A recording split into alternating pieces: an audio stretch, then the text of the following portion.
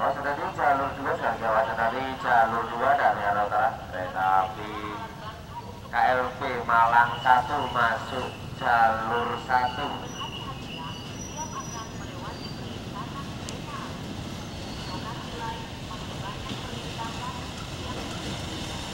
Masuk jalur 1 dari arah jalur 1 KLP Malang